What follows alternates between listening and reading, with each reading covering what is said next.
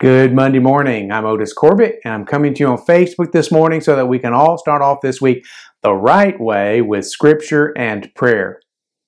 Our scriptures for today come from Luke 5 and also Matthew 8 and 14. Let's begin by reading Luke 5, verses 1 through 11. And it came to pass, as the people pressed upon him to hear the word of God, he stood by the lake of Gennesaret and saw two ships standing by the lake. But the fishermen were gone out of them and were washing their nets. And he entered into one of the ships, which was Simon's, and prayed him that he would thrust out a little from the land. And he sat down and he taught the people out of the ship. Now, when he had left speaking, he said unto Simon, Launch out into the deep and let down your nets for a draught. And Simon answering said unto him, Master, we have toiled all the night and have taken nothing. Nevertheless, at thy word I will let down the net. And when they had this done, they enclosed a great multitude of fishes, and their net brake. And they beckoned unto their partners, which were in the other ship, that they should come and help them. And they came and filled both the ships, so that they began to sink.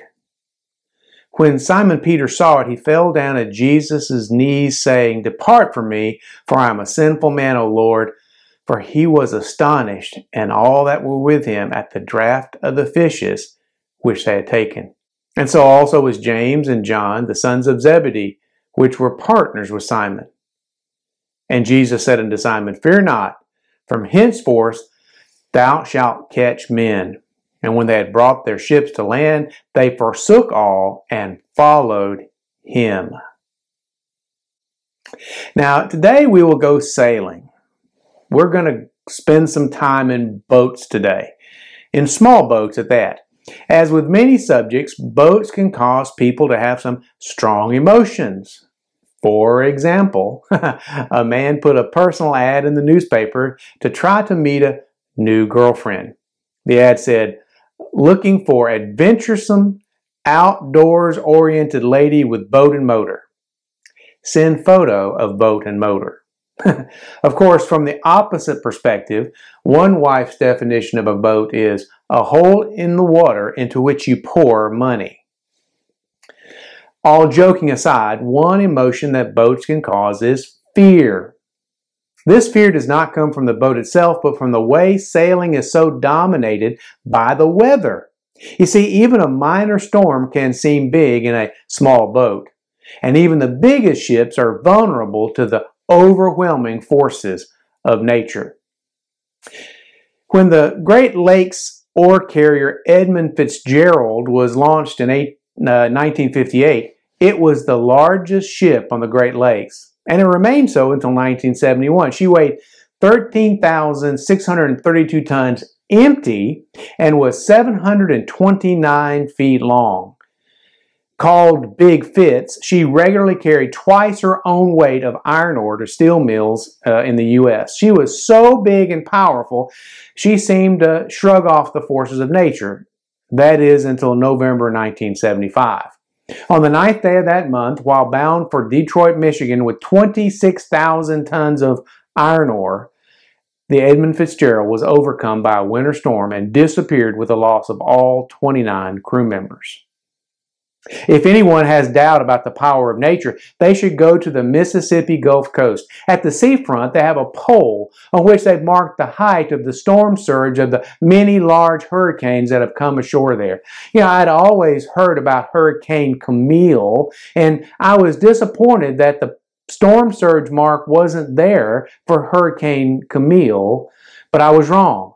Up near the very top of the pole, there was a mark that showed a wave height of 30 feet had crashed ashore there. The forces of nature are far beyond we mere mortals. But we'll see today that they don't even compare to the powers of the master of nature. First, we see Jesus as the master of creatures. In our passage from Luke 5, we see Jesus as the master of creatures. No one likes it when people butt into their business. As the old saying goes, those of you who think they know it all really irritate those of us who do know it all. and the truth is that some people think they know more about a subject than the experts. And just as often, these folks act on their knowledge, and usually when they do, disaster strikes. Now, an example of this is a police department which took upon itself to install a temporary traffic light at an intersection. They had not done the proper consultation with traffic engineers, and a fatal traffic accident was the result. They thought they knew more than they did. Now, Jesus should not have known about fishing. He was a trained carpenter and he was a religious teacher. And this kind of fishing was not done just by anyone. These fishermen were highly skilled and trained and had done this for a long time. Catching fish with a net isn't easy. It's actually an industrial process. Yet Jesus did know more about these creatures than these expert fishermen did. You see, Jesus is the master of creatures because he is the creator of all things, as we read in John 1 1 through 4. In the beginning was the Word, and the Word was with God, and the Word was God. The same was in the beginning with God. All things were made by him, and without him was not anything made that was made. In him was life, and the life was the light of men. Because Jesus is the creator, we need to honor his knowledge. We need to follow his instructions to have dominion over the world and to be good stewards of the world.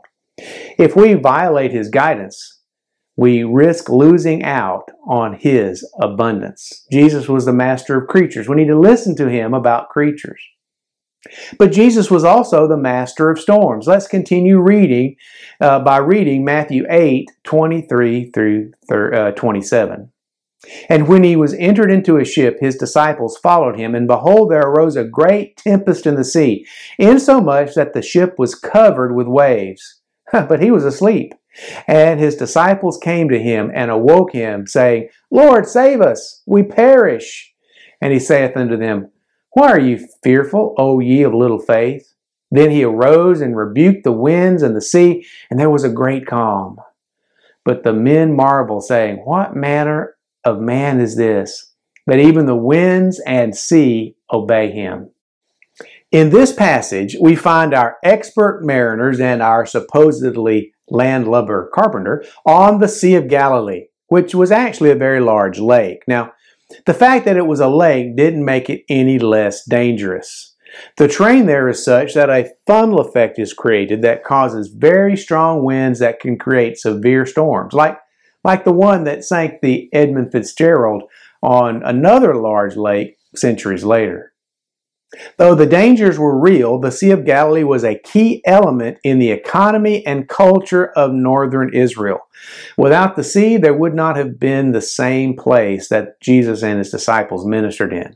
You see, the Sea of Galilee was a major transportation route, and Jesus and his disciples had sailed upon it to reach the other side, where Jesus had an appointment to meet with the Gadarene demoniac, uh, although the disciples didn't know that just yet.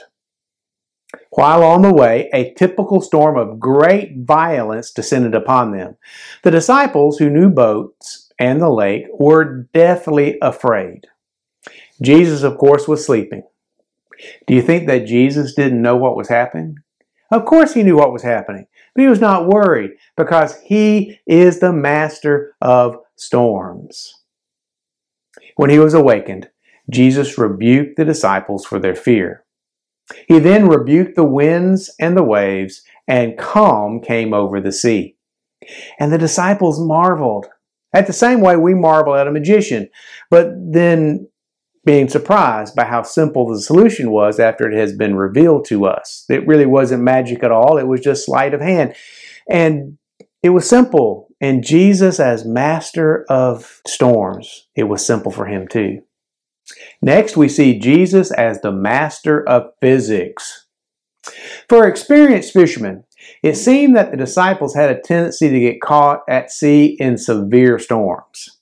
Now, the next time this happened, in Matthew 14, 24 through 33, we learn that Jesus was the master of physics.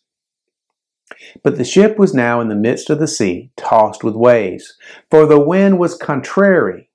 And in the fourth watch of the night, Jesus went unto them, walking on the sea. And when the disciples saw him walking on the sea, they were troubled, saying, It is a spirit. And they cried out for fear. But straightway Jesus spake unto them, saying, Be of good cheer, it is I. Be not afraid. And Peter answered him and said, Lord, if it be thou, bid me to come unto thee on the water. And he said, Come. And when Peter was come down of out of the ship, he walked on the water to go to Jesus.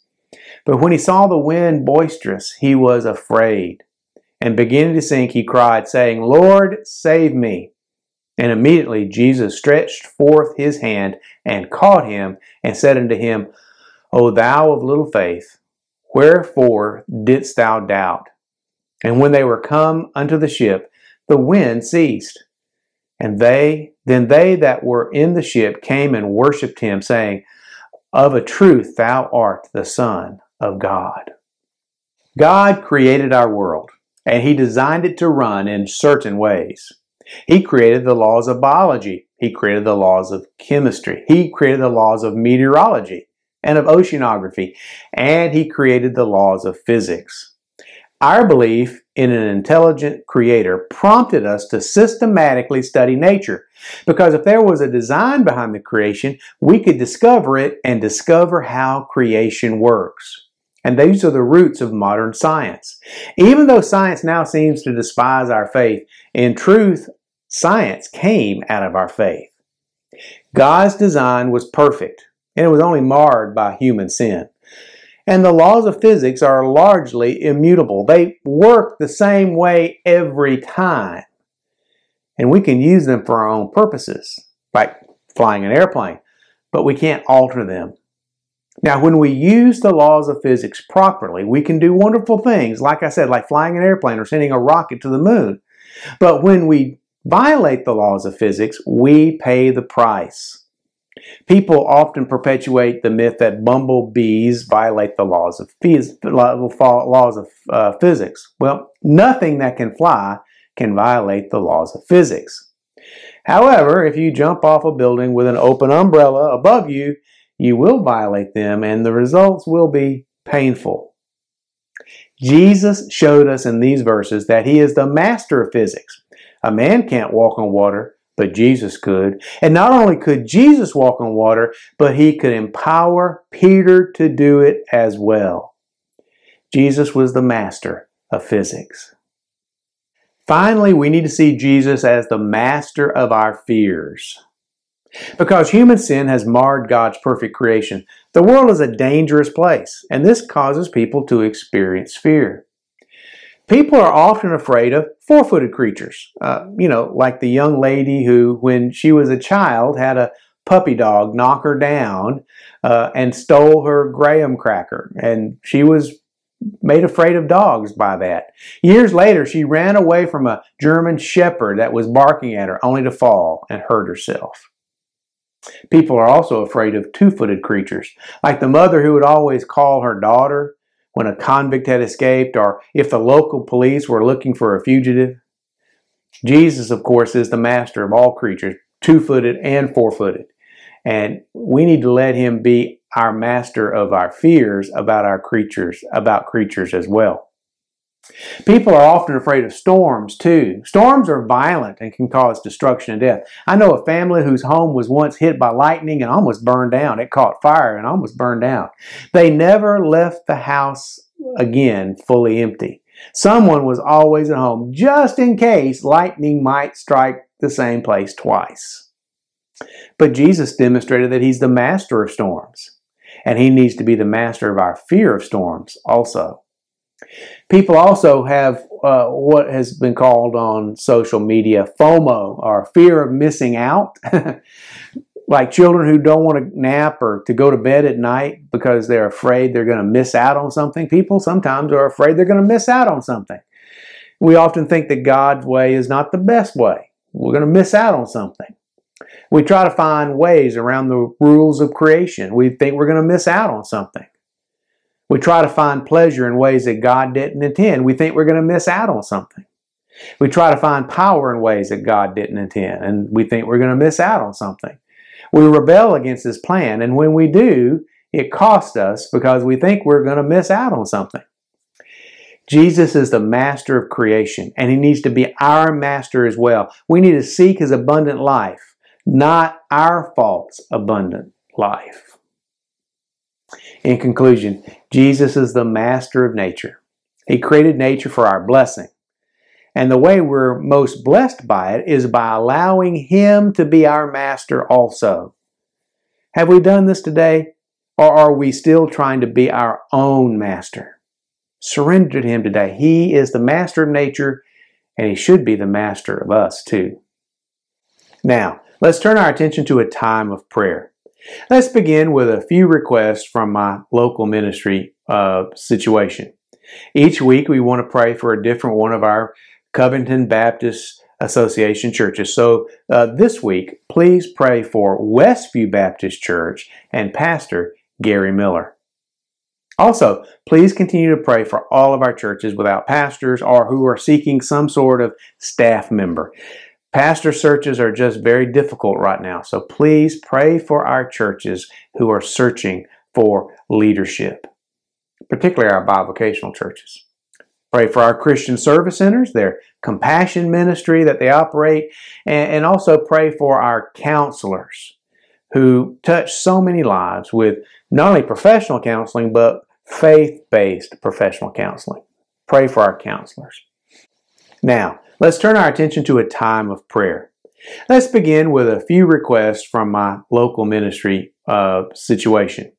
Each week, we want to pray for a different one of our Covington Baptist Association churches. So uh, this week, please pray for Westview Baptist Church and Pastor Gary Miller. Also, please continue to pray for all of our churches without pastors or who are seeking some sort of staff member. Pastor searches are just very difficult right now, so please pray for our churches who are searching for leadership, particularly our bivocational churches. Pray for our Christian service centers, their compassion ministry that they operate, and, also pray for our counselors who touch so many lives with not only professional counseling, but faith based professional counseling. Pray for our counselors. On a broader scale, let's continue to pray for peace in places like Ukraine and Syria and Iraq and pray also for those touched by the recent university revivals. May this have a lasting positive effect on their lives. Pray for those that are going out on mission trips during spring break. Pray that God will keep them safe, speed their travels, and give them success in their endeavors for Him. Also, pray that our churches and church members will reinvest themselves in volunteer mission efforts in the post COVID Er, era. It, it's time to get back on mission.